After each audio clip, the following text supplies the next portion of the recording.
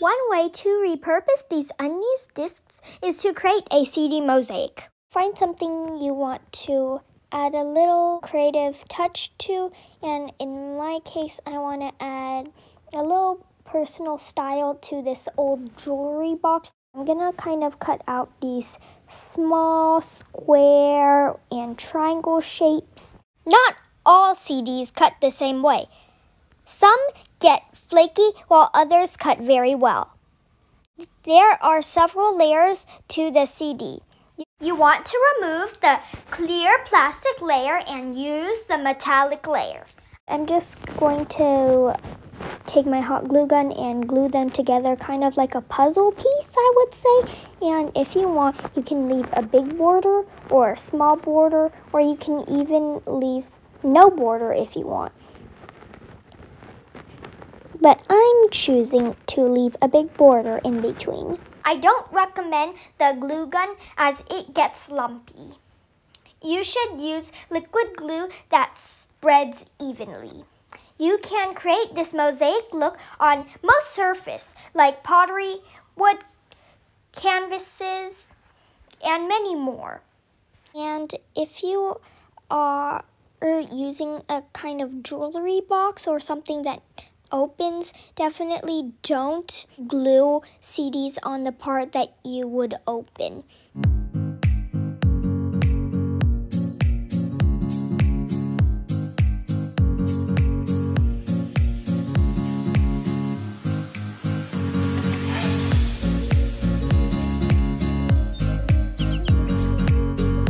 To complete this jewelry box, I apply a black dimensional fabric between the CD pieces. This helps to seal the rough edges.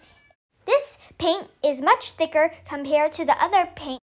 As you can see, I tried using a red metallic paint in between the mosaic pieces, but the paint was flat, so it didn't cover the, up the sharp shards. Instead of paint, you can use grout. Another way to reuse those CDs is to melt them into decorative bowls. I double up on the CDs so both sides will have the same iridescent look. I put it in my toaster over and 375 degrees for 15 minutes. This may differ depending on your oven. Not all CDs melt the same way at this same temperature. You need to lay them on a glass or something that can withstand heat. You will not be able to control the way these CDs melt. Once the CDs have melted into a bowl-like shape, turn off the oven, but leave it to cool down before touching it. I use these bowls to hold jewelry or candle holder. Do not use these bowls for food. Since I have so much scraps left from my mosaic, I will make jewelry and charms out of these extra pieces. Double layer the pieces so that both sides will have the same iridescent look. Then I put it in the oven on 375 degrees over 15 minutes. Make sure that the oven is in a well-ventilated space. Once you see that the pieces are melting together, air bubbles or warping lines, then turn off the oven. But leave it to cool down before touching it. Drill a hole, put on earring hooks, or add a necklace.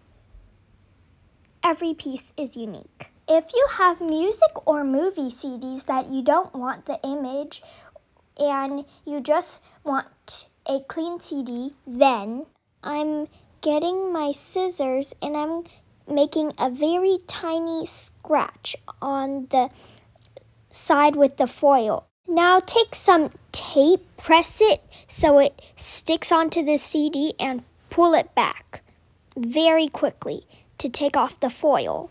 You can use duct tape or packaging tape regular tape. It's okay if you use multiple pieces of tape. I use multiple pieces of tape.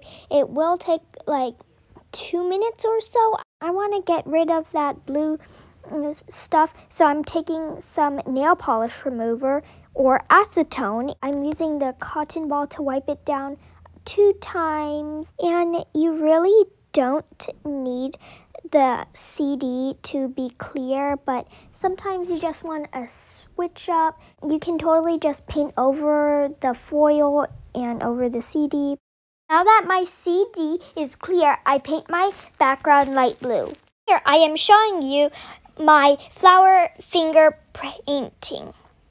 I should have marked the lines first to make sure my petals are uh, in line. So I'm doing it now. Now that the first layer of petals are fully dry, I'm going to go in with this light purple and I'm doing a second layer of petals.